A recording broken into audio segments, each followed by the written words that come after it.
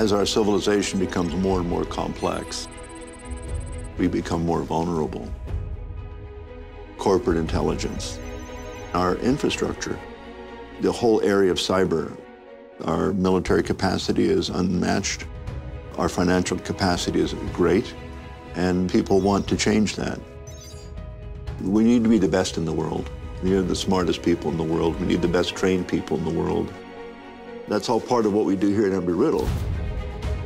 When I started looking for different colleges, the Global Security and Intelligence major popped up, and that's when I decided that that was my top choice, and I didn't want to go anywhere else.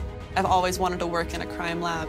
It's not something that people usually take credit for. Actually getting to do hands-on fingerprinting, blood splatter analysis, network security, and all of that, this is what I can imagine myself doing. Our professors have so much experience because they actually did it in those agencies. One of my favorite classes is my counterintelligence course with Professor Austin. She has turned this whole theory of counterintel into an actual practice. So they're put in a squad. They're given one piece of paper. Build a spy. Build something that fleshes out this individual. They do a surveillance exercise. They do an interview. What else can we find out about him? And they try to elicit information. We have a lot of threats in today's day and age. It's a pretty scary world out there.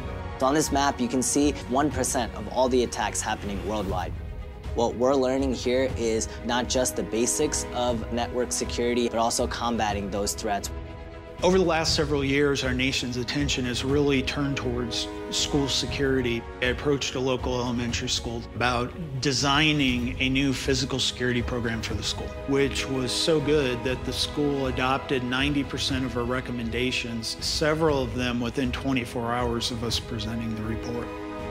We do this and capstone class that is called War Games.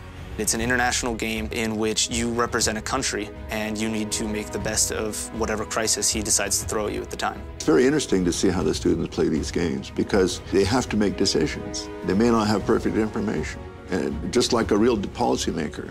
We concentrate on the melding of security and intelligence, and we use all of the best parts of each to try to prepare somebody for when they go out. CIA, FBI, NSA, DOD are just all over this campus. They're coming back to us saying, okay, this is what we need right now from you. This is the curriculum we're looking for. What we do here at Embry-Riddle is prepare students to fill this need that our country is going to have long into the future. It's an incredible experience. I'm actually doing something that I want to do and for the rest of my life.